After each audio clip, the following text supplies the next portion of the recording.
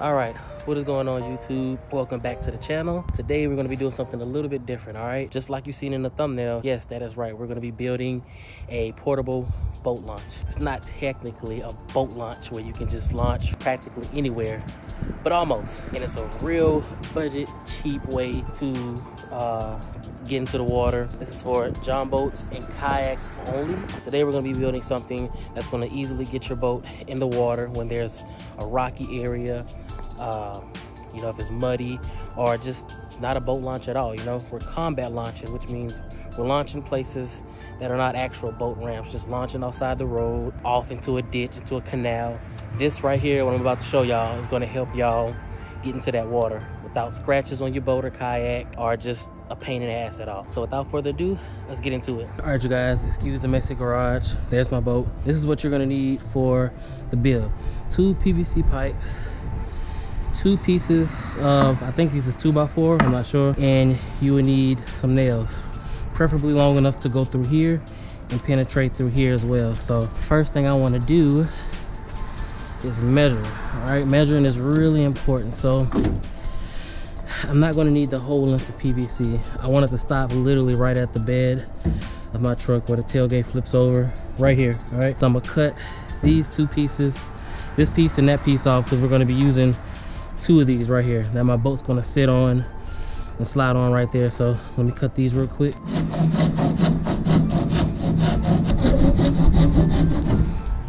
All right, I don't need this, but I'll keep it anyway for something. All right. Now we got our pvc down to size. If you look right here you have this this and this all right? So i had to figure out where exactly that i want to place the pvc pipes. Um i thought about putting them really close together and slide them in here but i really don't want it to be too skinny all right? I don't want it to be too narrow.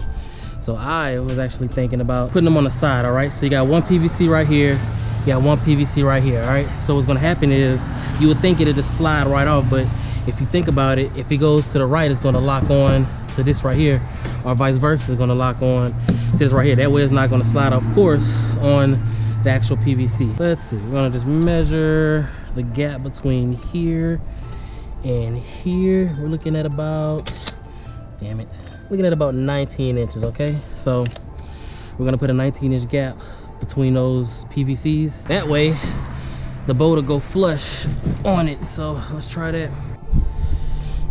All right so the easiest way to do this is do it upside down all right? It's to be flipped over. That way the boat can go straight on. But it's easier to just drill down into the pvc through the wood just like this. Uh, so here we're to do the measurements right there seems to be. Actually i'm gonna scoot it just a little bit more just in case we might be a little too close. It's about right there. All right let's see.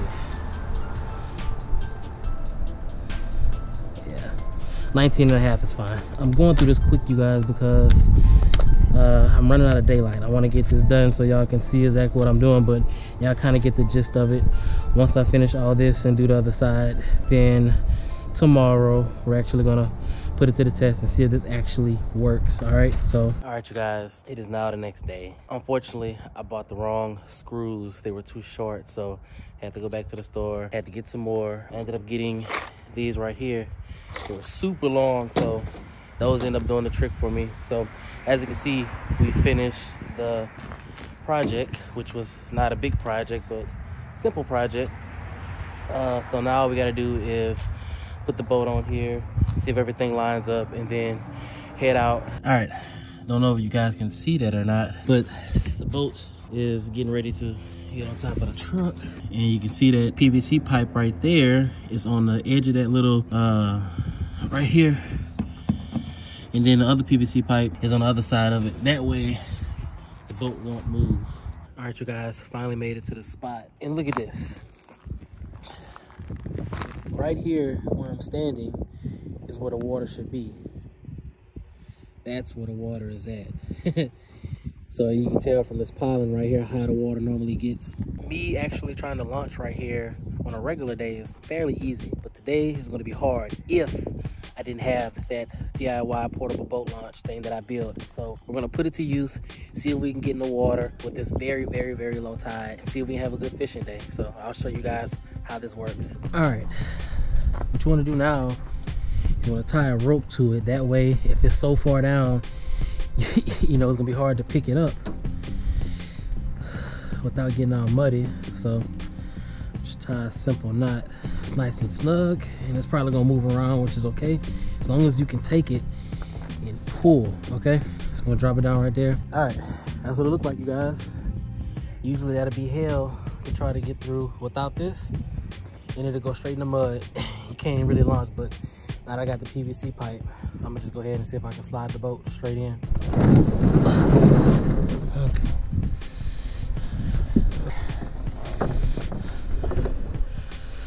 So from here, just sliding it in, you guys. See that?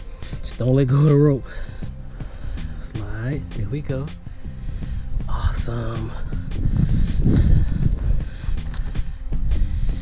And there you go, guys, we in. Awesome that worked perfectly. Exactly how i wanted to. All right you guys let's go ahead and get started. All right we're gonna go with a 1 8 ounce jig head. I'm just gonna put some Fast Castin Baits on here a little crappie jig. And uh, right now we're in a fairly deep canal. I won't probably stay here long because boats like to fly through here. There's literally no water in here. Oh uh, you guys can see this. Look, look at this. There's nothing in here. I mean, nothing. Shallow maybe. I might get lucky finding some reds up in here but you guys i'm telling you that water's like as high as the marsh right there sometimes. It's literally no water in here. That's okay. All that means is we got to find the deep spots in here. All right you guys this look like a bass type of day. Since that oh snap. What the hell? Oh got to break my trolling tide is not even really moving anymore. I guess that's a good thing because that means oh, Oh no, I thought that was a fish. I guess that's a good thing. Oh, there's one. There's one.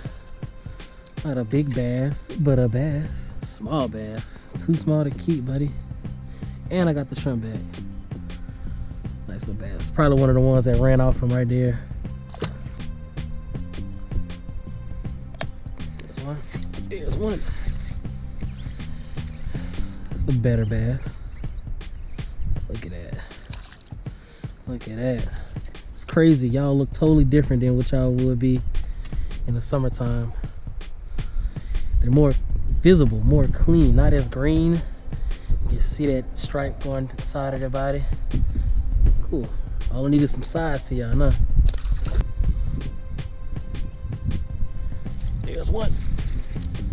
Oh, he got away. Man that was a good one. All right you guys. Normally this is about a foot above the ground right here so i can even uh, ride along right there but that's how low the water is. Look how low the water then got all right? You wouldn't even see this on a regular tide day.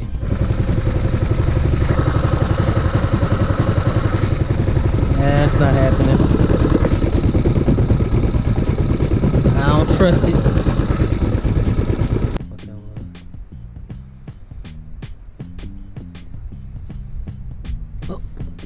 fish. There's a fish. I don't know what it is, is it? Looks like a red. Oh no, that's a Oh, that's a bass. Look how big he is. Oh my god. Holy. Look at that, you guys. Finally. Oh man, I thought that was a red or a sheep's head. Oh, yes indeed that right there is a fish you guys. I wasn't even paying attention and i just something was just pulling my line. That is a fish you guys. Look at that. Cold water louisiana marsh bass. There's no way. Oh that's a good fish. Oh that's a good fish. I can't tell what it is yet. I think it's a red. Yeah. Yeah it's a red. Okay you guys i think i found them Oh, don't go around that corner. Please don't go around that corner. Hey, as soon as I dropped it in there, you guys see bit it.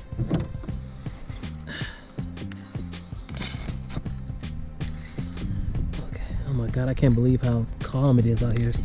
Oh, he got off just like that. Damn. Oh, there it is. There it is. There it is. Good red. Oh my god. Dude, what is with me in reds? Like, can I hook these guys?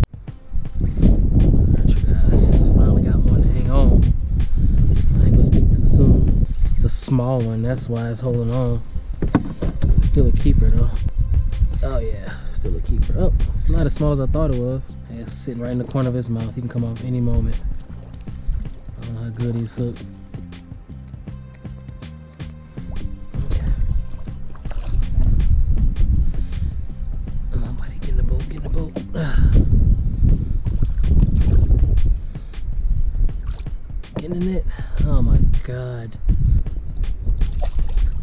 Yes. Woo. Oh, that's a good one. Look at that, you guys. Oh. Perfect fish. Look at that. And it's low tide. And it's a beautiful fish. I love sunny days. It really just brings out those fish. trying to see if I can find some more deep water here, you guys. Looks like it's just getting shallower as I go further down. All right, I wanted to show y'all with these northwest winds due to certain parts of the marsh. Now, there's somewhere here in the marsh in Hopedale, Shell Beach area, where the water is like chocolate milk. Then there's some places where it looks just like this. I mean, I can see the bottom easily. Don't see any redfish. I saw two of them, but I missed them. They see me way before I see them, unfortunately. Places like this are just amazing. Like...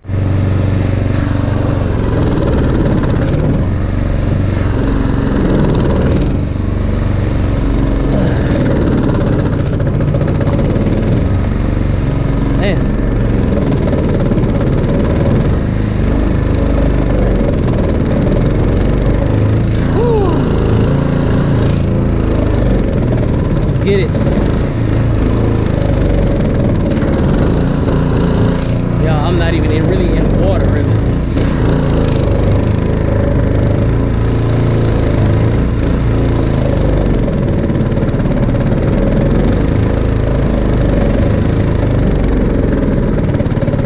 Woo! All right, we back in the deep stuff.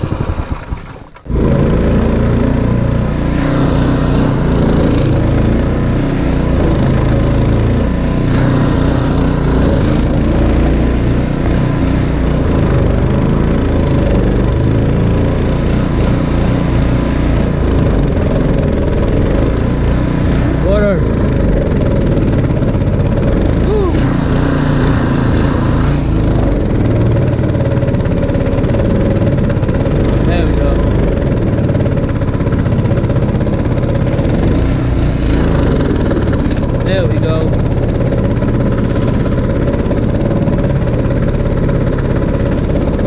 Ooh, I thought this thing was deeper than this. See how it goes right in between. Hope you guys can see that.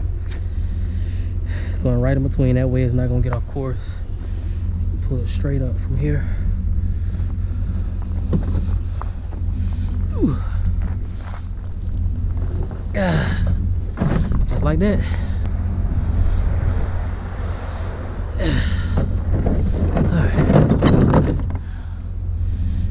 Okay, that wasn't good. I don't know what the heck happened with that.